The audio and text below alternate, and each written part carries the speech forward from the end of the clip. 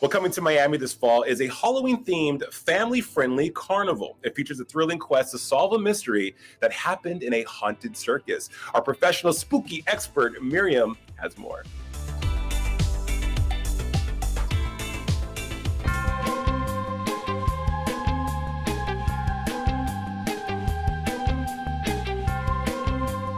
The Haunted Circus Carnival hits Tropical Park. This event is a Halloween themed, family friendly carnival. Haunted Circus Miami is an immersive theater experience where, where people get to experience a lot of really cool fun activities.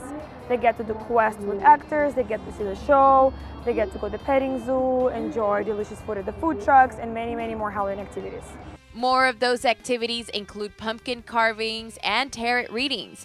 And while you enjoyed those experiences, there will be a mystery to be solved. Guests will have to find out what happened to an acrobat who vanished out of thin air by searching for clues from tent to tent. Christina's very excited to bring the carnival to South Florida as it's a new experience for families to enjoy during the Halloween season.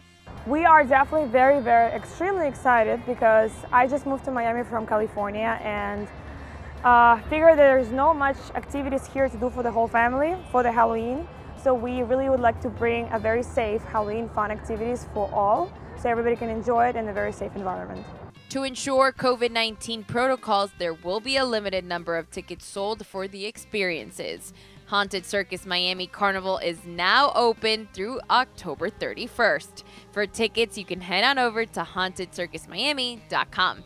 I'm Miriam Tapia, Inside South Florida.